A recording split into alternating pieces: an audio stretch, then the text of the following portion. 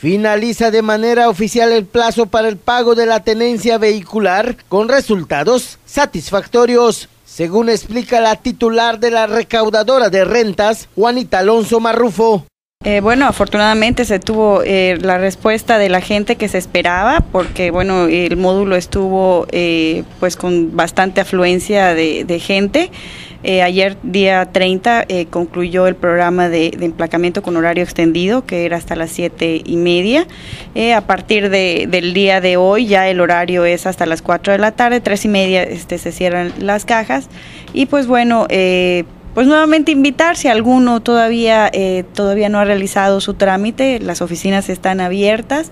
Asimismo, dijo que en los siguientes días se pondrán en marcha los operativos de verificación de vehículos, así como de requerimientos de pagos, quienes no han cumplido porque bueno, pues ya en breve van a empezar los operativos, vamos a solicitar el apoyo de la Dirección de, Tránsito para poder iniciar los operativos, para verificar que ya todos hayan cumplido. Y bueno, también habrán eh, requerimientos de pago y bueno, todo aquel que le llegue un requerimiento viene implícita ya una multa, entonces bueno, nuevamente invitar a todos aquellos que todavía no hayan realizado su, su pago, bueno, que se acerquen y que realicen el pago.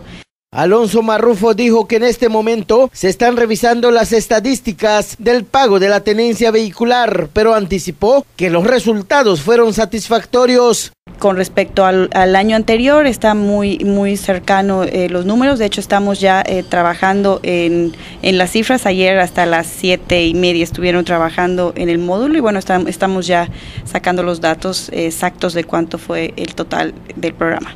A modo de que se pueda actualizar el padrón vehicular en la isla de Cozumel, Juanita Alonso exhortó a propietarios de vehículos a notificar cualquier movimiento que hayan realizado.